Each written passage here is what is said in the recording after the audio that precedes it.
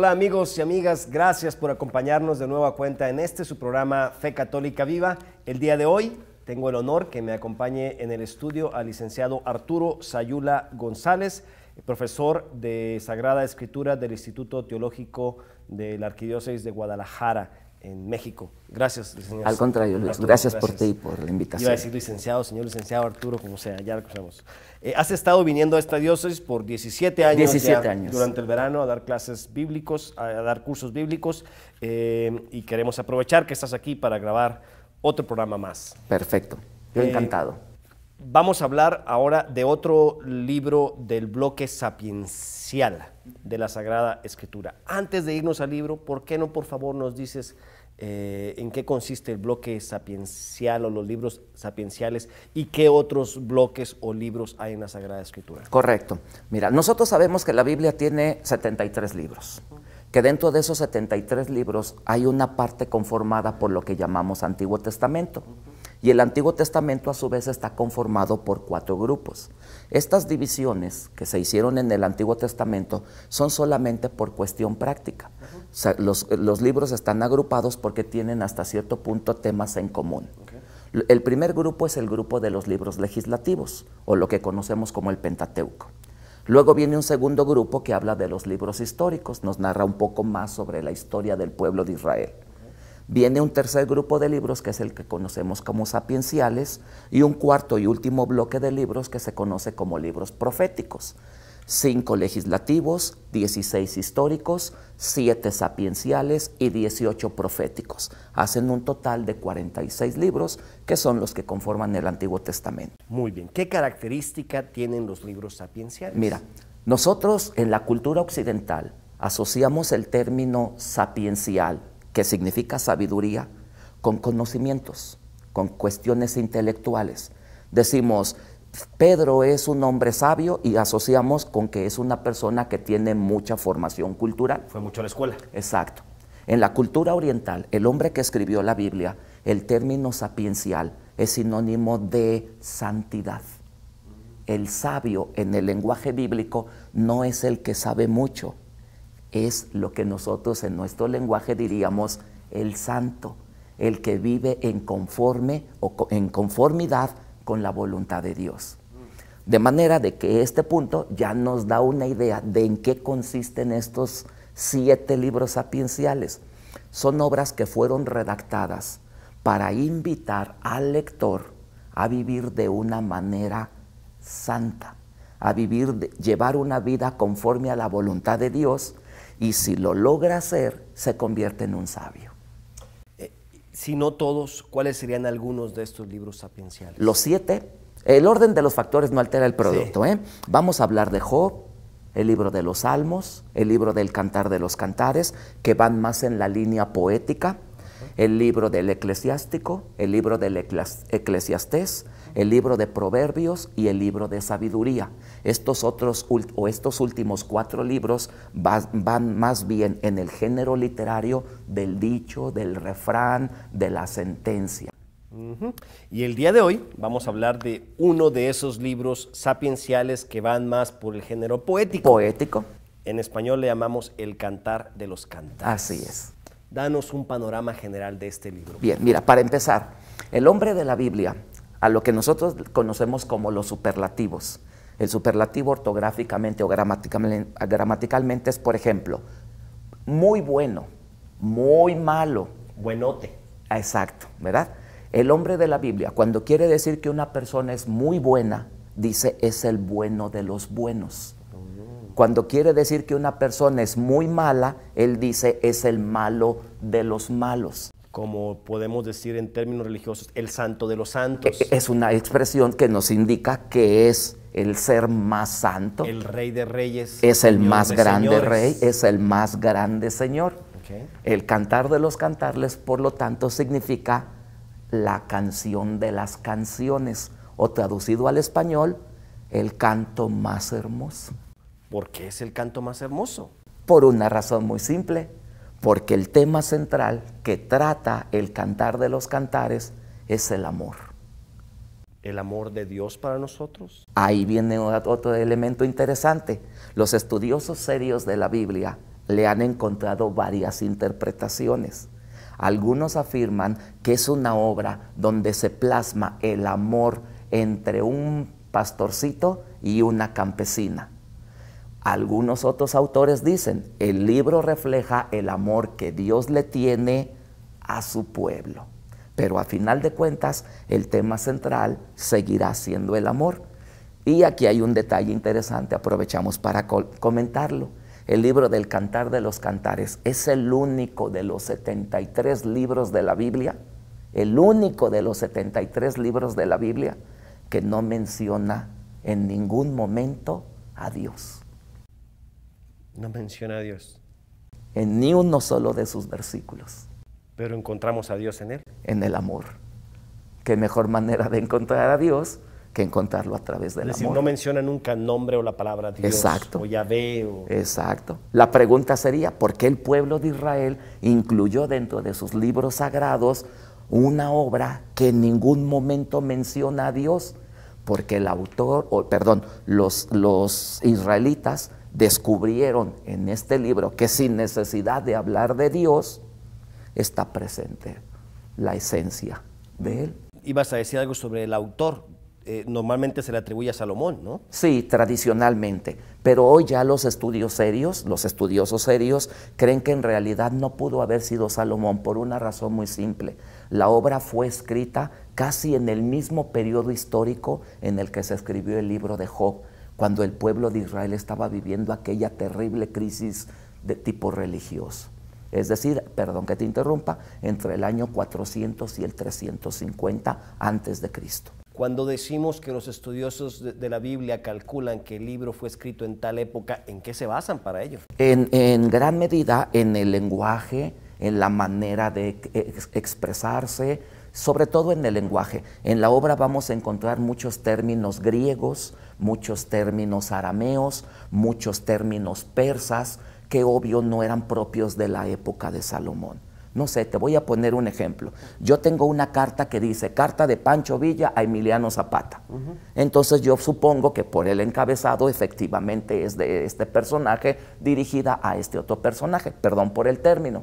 Y entonces la carta dice, mi querido este, Emiliano Zapata, yo en la carta anterior te mandé un informe sobre la situación de esta guerra. Uno diría, bueno, pues la narración concuerda con lo que sucedió en aquel tiempo. Y luego enseguida nos encontramos una frase que dice, espero que me envíes un correo electrónico para confirmar la táctica que vamos a utilizar en la siguiente batalla. Cuando yo leo la carta digo, ah caray, aquí ya hay una palabra que no encaja con la época en la que se supone que sucedieron los acontecimientos. Que este debe ser otro Zapata. O, tiene que ser necesariamente otra época en la que se escribió esta carta, porque en aquel tiempo no había correos electrónicos. Bueno, muy buena la explicación, quedó muy claro y nos vamos a meter más a estudiar entonces el libro del Cantar de los Cantares. No le cambien, ya volvemos, esto es Fe Católica Viva.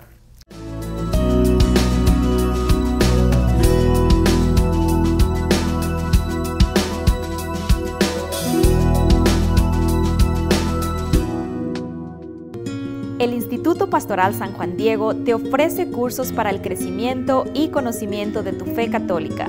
Entre otros te ofrecemos Fundamentos de Vida Cristiana, Certificación de Agentes de Pastoral, Licenciatura en Ciencias Religiosas a través de la Universidad Anáhuac de la Ciudad de México Ven y descubre la belleza de tu fe. Aprende más sobre sacramentos, mandamientos, liturgia, sagrada escritura, historia de la iglesia, oración y mucho más. Para mayor información, comunícate con Alfonso Lara, director de formación y catequesis al 303-295-9470, extensión 111.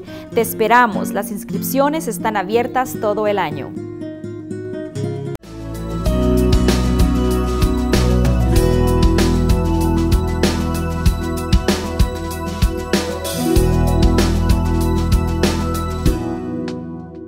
Gracias por seguir con nosotros en Fe Católica Viva. Estoy conversando con el licenciado Arturo Sayula González sobre otro libro de la Sagrada Escritura, el libro del Cantar de los Cantares. Otro libro sapiencial, otro libro del Antiguo Testamento. Gracias Arturo. Por Al contrario, Luis. eh, decíamos como introducción en el segmento número uno algunas características generales de, de este libro y el contexto en el cual se, se, se encuentra en la, en la Biblia. Eh, viéndonos ya mucho más al libro, dices que es un libro que habla de amor, Así es. que no menciona a Dios con, con- con esa palabra, sino que habla del amor. Habla entonces del amor entre un hombre y una mujer o de otro tipo de amor. Decíamos en el segmento anterior que ha habido varias interpretaciones. ¿verdad? Muchos inclusive han llegado a decir que el Cantar de los Cantares es un libro pornográfico, porque utiliza un lenguaje muy atrevido entre el diálogo del novio y la novia. Pero yo, con todo respeto, respetando es- esas posturas, valga la redundancia, yo siempre, en mi opinión, he afirmado lo siguiente. La pornografía no está en, el- en la Biblia. La pornografía está en la mente de la persona que y malinterpreta los textos bíblicos. Así que, en mi opinión, si finalmente Dios es amor, como nos lo dijo San Juan, el amor humano también es reflejo del amor de Dios.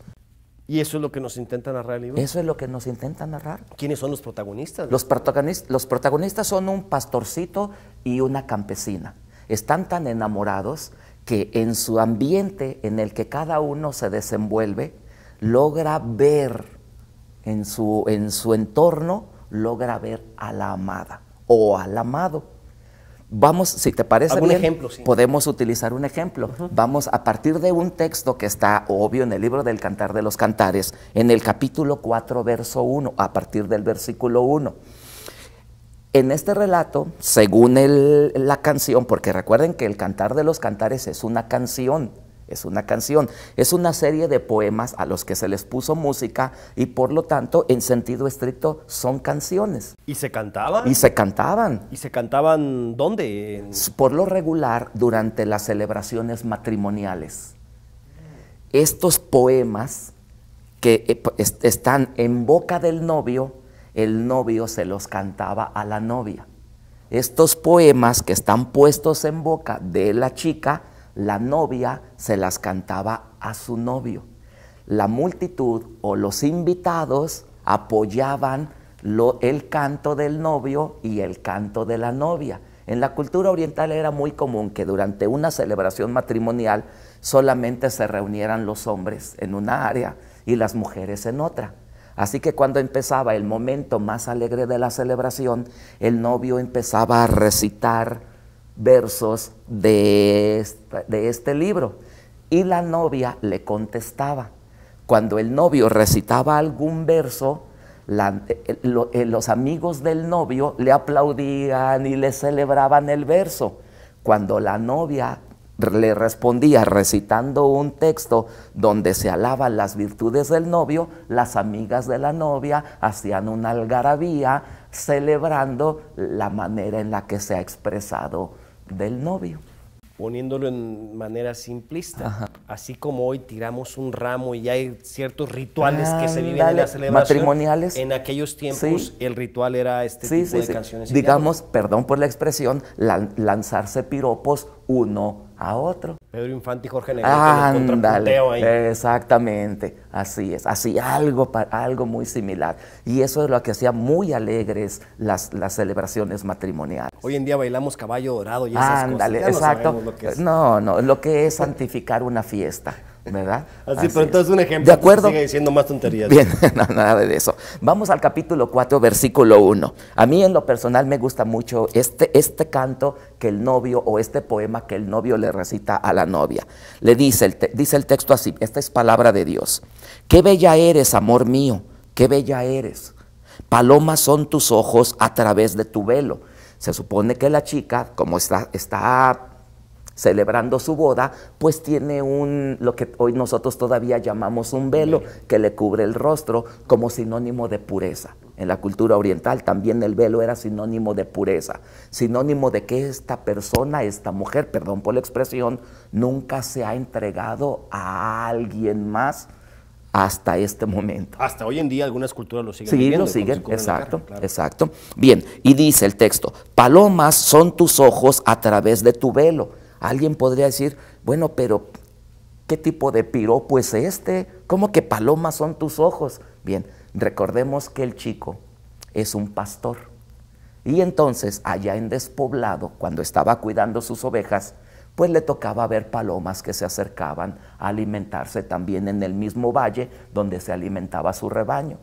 El chico al ver a las palomas y ver que por lo regular son animalitos de ojos grandes, esos ojos grandes de las palomas inmediatamente le recordaban los ojos grandes de su amada. Hay otra enseñanza que en su momento, si mal no recuerdo, Pepe Prado sacó, haciendo una reflexión de este pasaje bíblico, y él decía un detalle que en lo personal también se me hace muy interesante. Mientras los seres humanos tenemos una visión multifocal, es decir, yo puedo estar viendo el frente, puedo estar viendo la cámara, pero también de reojo alcanzo a verte a ti y de reojo alcanzo a ver la lámpara que tengo a mi derecha. Mi visión es un poco más amplia. Las palomas solamente tienen una visión unifocal. Eso significa implícitamente que a través de este relato el novio le está diciendo a la novia que solo tiene ojos para ella. Y ciertamente la expresión resulta un muy hermoso piropo. ¿Vas a leer otro poquito? Claro, sí, sí, no hay ningún inconveniente. No, yo estoy picado. Perfecto, continuamos. Dice, tu melena, rebaños de cabras que descienden del monte de Galad. Le voy a decir eso a mi esposa cuando vaya, tus cabellos parecen rebaños de cabras. A ver qué me dice. Bueno, lo más seguro es que te dé una cachetada. No, no, ella entiende perfectamente cuál es el simbolismo del texto. Nosotros, la gran mayoría de nosotros no lo conocemos porque no vivimos, afortunado o desgraciadamente, ya en un mundo propio de campesinos. Pero imagínense la escena, ¿cómo son las cabras ordinariamente? O mejor dicho, ¿de qué color son? Café. Si esas cabritas, esas cabras de color café van subiendo una montaña que es ondulada, entonces, con esta expresión, el novio le está diciendo a su amada que tiene un pelo de color café y además lo tiene ondulado. Como se vieran las cabras subiendo. Exacto. Y, está claro todo eso. Pero ¿qué tiene eso de texto bíblico? ¿Qué tiene eso de texto sagrado y de ponerme en comunicación con Dios o ayudarme a entender quién es Dios? Que es el propósito de un libro sagrado. Correcto. Y eso me lo respondes después de la pausa. Claro que sí. Se nos acabó el tiempo. Con mucho gusto. Así que no le cambien, ya volvemos. Esto es Fe Católica Viva.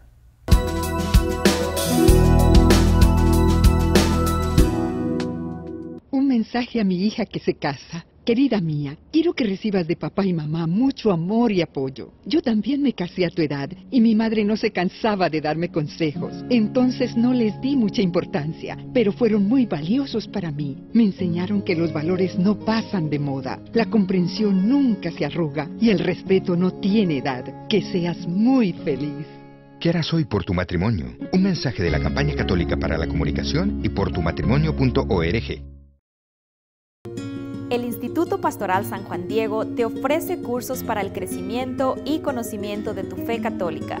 Entre otros te ofrecemos Fundamentos de Vida Cristiana, Certificación de Agentes de Pastoral, Licenciatura en Ciencias Religiosas a través de la Universidad Anáhuac de la Ciudad de México Ven y descubre la belleza de tu fe. Aprende más sobre sacramentos, mandamientos, liturgia, sagrada escritura, historia de la iglesia, oración y mucho más. Para mayor información, comunícate con Alfonso Lara, director de formación y catequesis al 303-295-9470, extensión 111. Te esperamos, las inscripciones están abiertas todo el año.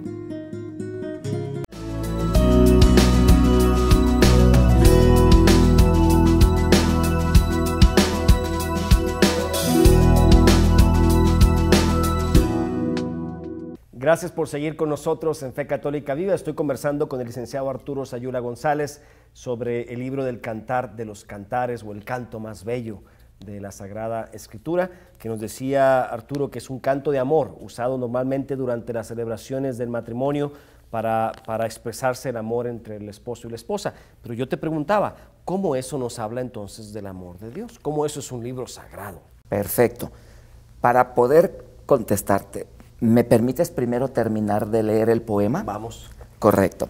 Hablábamos de que ya el novio, al ver a las palomas, le recordó los ojos de la amada. al ver a las cabras que van subiendo sobre la montaña, le recordó el pelo de su amada. Bien, dice a continuación en el verso 2 del capítulo 4 del Cantar de los Cantares. Tus dientes, rebaño esquilado de ovejas que salen del baño, todas con crías mellizas. Entre ellas no hay una estéril. Obvio. Y le va a decir, ¿qué dijiste? Exacto, exacto. Bien, nosotros tenemos que acudir a ese mundo pastoril para entender el piropo. ¿Cómo son las ovejas de ordinario? Blancas. Y si están recién bañadas, más blancas. Y si están recién esquiladas, más blancas. El chico, al ver a las ovejas tan blancas, les, le recuerdan la dentadura bellísima o blanquísima que tiene su amar. Hasta eso se le hacía bello. Sí. En cada cosa que él observa, le remite irremediablemente a su amada. El texto dice, todas con crías mellizas, entre ellas no hay una estéril. Nosotros podríamos utilizar un término muy vulgar y decir que la chica no está chimuela, tiene su dentadura completa. Ese es el sentido de la frase. En el verso 3 dice lo siguiente, tus labios cinta escarlata. Uno diría, bueno, ¿qué quiso decir? En el ambiente pastoril del mundo de la Biblia, como los pastores a veces tenían que andar en regiones muy despobladas o despobladas, llevar a los rebaños donde había agua, donde había pastizales, implicaba alejarse mucho de las zonas pobladas.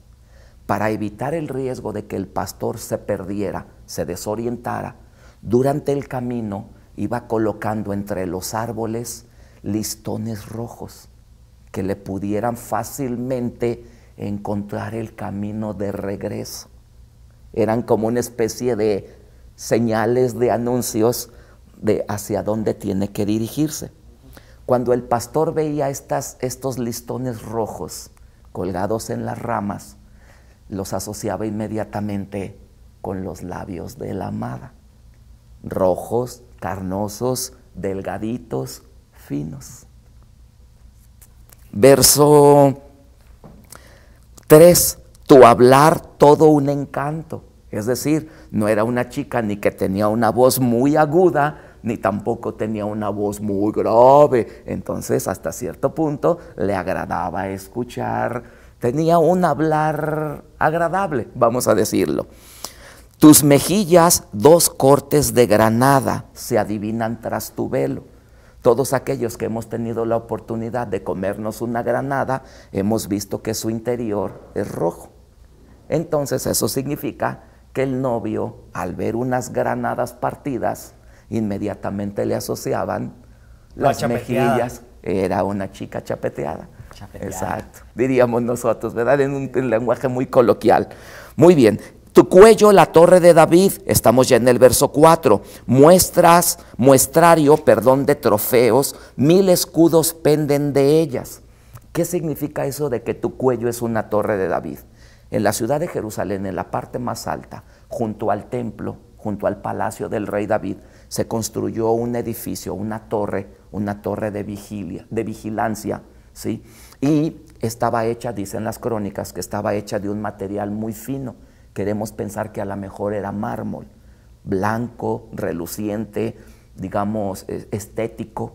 Entonces el chico al ver la torre se, este, se imaginaba inmediatamente el cuello. el cuello de la mar. Y que tiene cosas colgadas. Y que tiene cosas colgadas, como está estilizado, como está, eh, digamos, es blanco, la chica parece ser que es de piel blanca. Aunque después dirá que soy morenita, dirá ella. Pero quemada por el sol, porque como la mandan al, al campo, recuerda que es una, es una campesina, y según el poema, en castigo, porque no quieren dejar que se case con su novio el pastorcito, en castigo la mandan a cuidar los cultivos y eso genera que se queme por el sol. Se nos está acabando el tiempo. ¿Cómo eso nos habla del amor de Dios? La conclusión, muy bien, muy simple.